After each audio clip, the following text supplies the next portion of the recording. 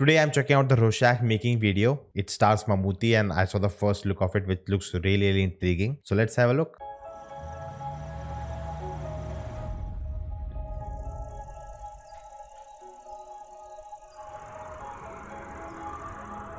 All the fans are there.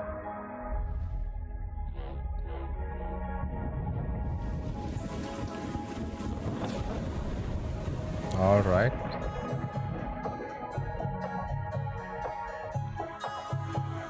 They are not showing Mammootty at all, huh?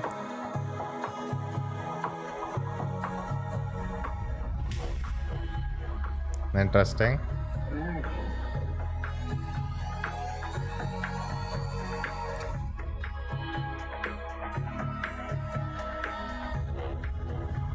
A lot of night shots.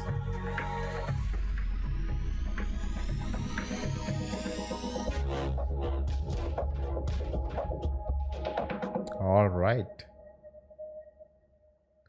Official trailer launch on 7th September. All right. It was interesting they didn't show Mammootty at all. They're saving it everything for the trailer and the movie. It's always interesting to watch the behind the scenes, you know, how a film is made. Suddenly, you know, you are seeing a very different perspective. Now, from the name and the looks of it, it feels like a serial killer kind of movie. And, and the only Rorschach I know is from the, you know, the Watchmen comics or the movies, which was a very intriguing character. I really like that. So my guess will be that we are going on a serial killer path kind of way. And even the way they're shot, you know, it's very dark, it's very gloomy, a lot of night they are creating that feel. So hopefully I'm right. But what do you think? Let me know in the comments below. Until then, check out this video if you like this, like, subscribe, and I'll see you next time.